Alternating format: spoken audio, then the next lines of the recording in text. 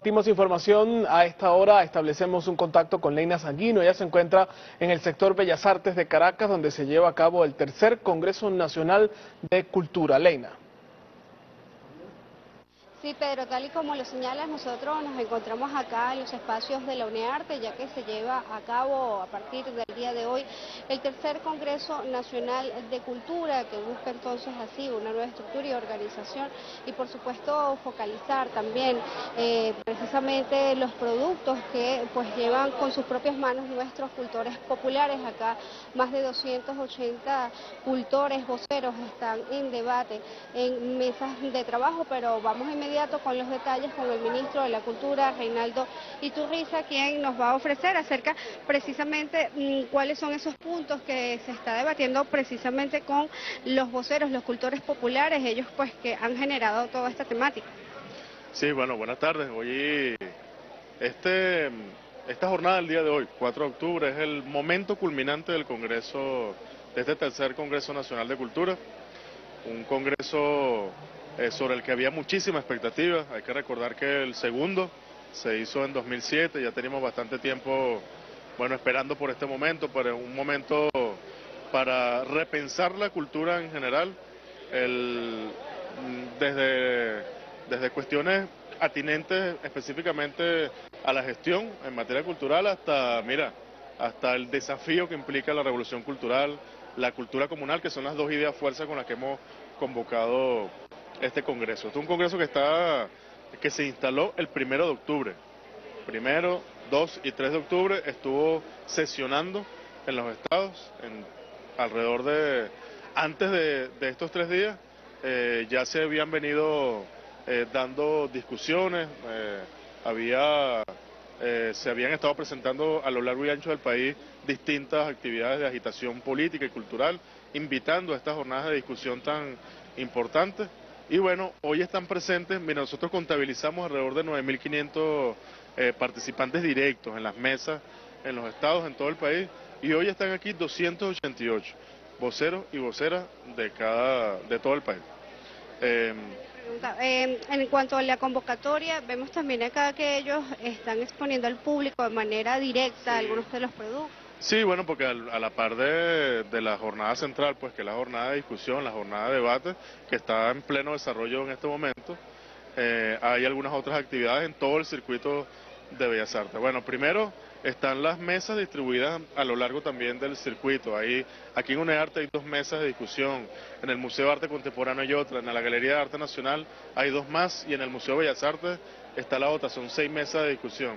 Aquí hay una feria gastronómica comunal tiene todavía oportunidad de venirse para acá, para, bueno, para conocer lo que están produciendo las comunas. También está una feria eh, del Conuco, eh, allá en, el, en Los Caobos.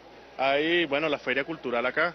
Esto es una... esa feria del Conuco que pudiera encontrar los caraqueños? Es una, mira, es una muestra bastante interesante eh, que tiene que ver con una de las mesas que se está que se instaló hoy aquí, que es la del ecosocialismo. Hay una propuesta allí eh, mucho más allá, hay una, una perspectiva, eso es lo interesante, hay una perspectiva no folclórica, no del hecho del conuco, ¿no? Como, como economía de subsistencia. Hay como una interpelación sobre, más bien sobre el modelo de producción, sobre el rentismo. Eh, esta feria esta feria cultural que tenemos acá, aquí en, la, en el espacio de la UNEARTE, es muy importante porque es una, aquí están participando nuestros artesanos y artesanas organizados. Esto es algo que está organizando el Centro Nacional de Artesanía. Eh, los artesanos que están aquí no son precisamente los que históricamente tuvieron acceso para venir y vender sus cosas acá. Todo lo contrario, estos son los artesanos y las artesanas que nunca pudieron estar acá mostrando su, su, creación y bueno, ponerla, poniéndola a disposición del público eh, eh, de Caracas, de Venezuela en general. mira, las discusiones han sido eh, muy intensas. Hay, hay por ejemplo, para, para hablar con un poco más de detalle, se ha hecho una revisión crítica del funcionamiento del Sistema Nacional de Culturas Populares. Está, ha salido de manera reiterada el tema de, de las leyes, de la Ley Orgánica de Cultura, que es un tema que está ahí, no, no hace falta que haya un tercer Congreso Nacional de Cultura para que para que sepamos que este es un tema pendiente. Eh, el tema de la infraestructura cultural. Es evidente que hace falta un plan de, bueno, para, para eh, mantener, un plan de mantenimiento de nuestra infraestructura eh, cultural. Seguramente de aquí van a salir insumos extraordinarios para acometer esa tarea. Entre muchas otras cosas, una preocupación por mucha sensibilidad, mucha disposición, mucha voluntad de vincularse directamente con toda la experiencia comunal, con los consejos comunales, eh, nosotros invitamos una vez más a los consejos comunales a que constituyan su comité de cultura, son fundamentales. Mucha disposición de los trabajadores de la cultura y las trabajadoras para vincularse orgánicamente con, es decir, para vincularse, para articularse con el trabajo de las comunas. Eh, mucha sensibilidad, mucha eh, voluntad también para articular con el campo de la educación, es decir, todo el tema de la formación, de la investigación. Ahí es realmente amplio el, espectro de los temas que se está discutiendo, pero esos serían como los centrales.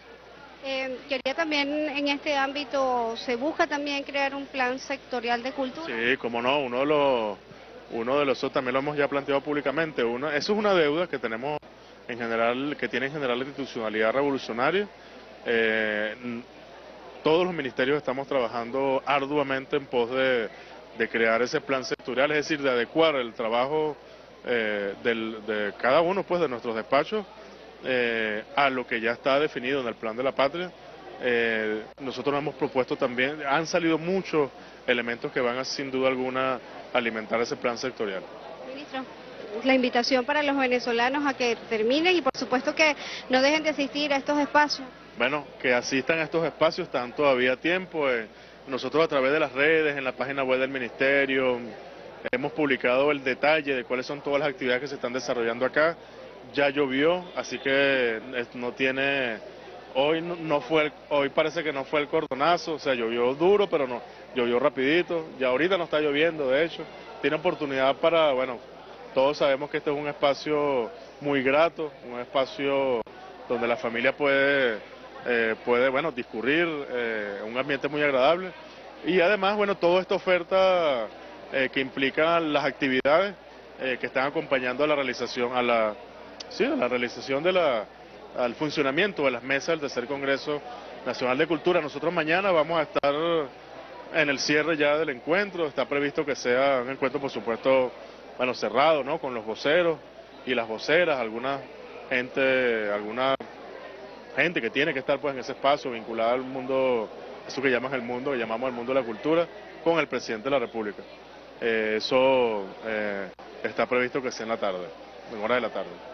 Muchísimas gracias. Bien, han escuchado ustedes las palabras del ministro para la Cultura, Reinaldo Iturriza, eh, ofreciendo el detalle de este tercer Congreso Nacional de Cultura que se realiza acá en los espacios de la UNEARTE y que inició desde el primero de octubre. Su cierre es el día de mañana. Por supuesto, la invitación es a todos los venezolanos, caraqueños, que no dejen de asistir a estos espacios, poner su grano de arena, así como también pues ver mm, de manera detallada, de manera directa las creaciones y creatividades de nuestros cultores populares. La información hasta el momento, devuelvo el contacto al estudio. Adelante.